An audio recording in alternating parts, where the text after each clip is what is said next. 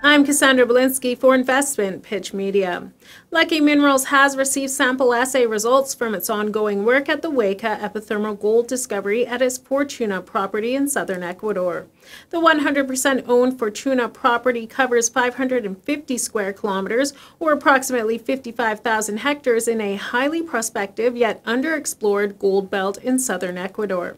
Wayka lies along an elevated ridge that trends northeast with elevations ranging from approximately 3,600 meters to 3,700 meters above sea level and is bound to the east by the El Buitre porphyry and to the west by Emma porphyry.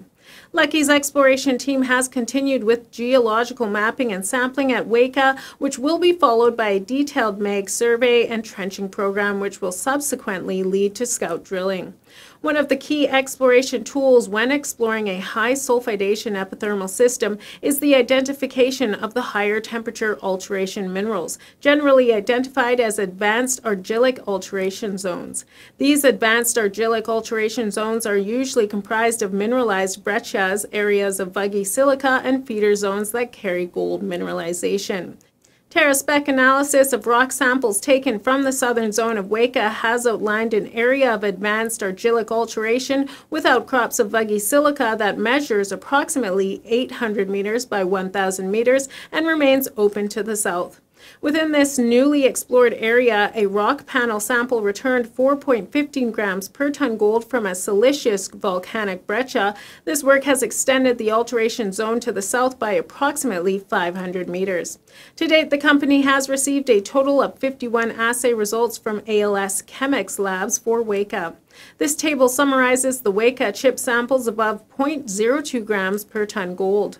Francois Perron, president and CEO, stated, We are extremely pleased with the results being returned from our work in the field. Not only have we found the highest gold grade in a surface sample to date at Wayka, but we have also demonstrated the scale of the high temperature alteration to be of kilometric size. We look forward to continuing to narrow in on our focus on the underlying feeder zones. A total of 83 rock samples have recently been submitted for TerraSpec analysis to determine the type of alteration alteration minerals associated within this mineralized system. We expect these pending lab results to assist in identifying potential feeder zones.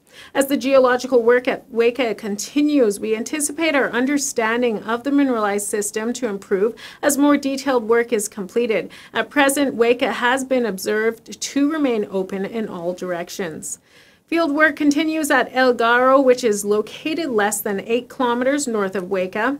El Garo is a large epithermal system with outcrops of dacite and vuggy silica.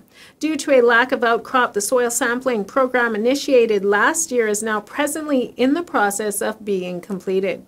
Results from this program will be combined with trenching, followed by a detailed MAG survey leading to a drilling program at El Garo. Field work also continues at Sherman in an area known as Macuche, which is mainly comprised of geological mapping and sampling, with old pit type excavations being cleared of brush to expose the bedrock. A 20 meter long hand dug trench has been systematically sampled at 1 meter intervals with assays from 28 samples currently pending. The shares are trading at 6.5 cents.